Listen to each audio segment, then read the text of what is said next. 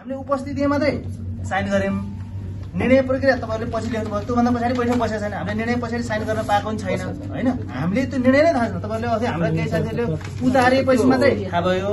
तर इडी साहबलाई हामीले चारचोटि भइसक्यो यहाँ आएर पुगेको चारचोटि चाहिँ यहाँ आएर चाहिँ के अरे तपाईँ चाहिँ विषयवस्तु चाहिँ प्रश्न पार्नुहोस्। तपाईँले के आधारमा निर्णय उतार्नु भयो निर्णय चाहिँ के आधार तयार पार्नु भयो भन्ने विषयले हामीले कुरा गर्दै गर- गरिरहँदा उहाँ चारचोटि भाइसक्नु भयो चारचोटि विषयवस्तु चाहिँ हामीले राख्नु खोज्दा उहाँ भागी भागी हिँड्ने हाम्रो के अरे दस्तखत दुरुपयोग गर्ने यो यो तरिका।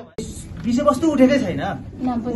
नामको त कुनै त्यो कम्पनीको त काहीँ केही संस्था थिएन। संस्थादेखि सम्झौता गर्ने काहीँ केही छैन। इडीलाई थप अधिकार दिने भन्ने विषयमा हामी कुरा गऱ्यौँ। बैठकमा एजेन्डा मैले अझ राखेको थिएँ उहाँहरू नै हुनुहुन्थ्यो। उहाँ हुनुहुन्छ हाम्रो। दुर्गाजी अरू हुनुहुन्छ। मैले के भने भने कुनै पनि अधिकार चाहिँ अप्ठ्यारो दिनुभन्दा अगाडि विषयवस्तु चाहिँ बुझेमा दिनुपर्छ भने है जे कुरा नि विरोध नाम विरोध गर्ने भन्ने हिसाबले कुरा म, मान्यजीले कुरा गर्नुभयो ठिकै छ हरेक विषयमा चाहिँ छलफल नगरिकन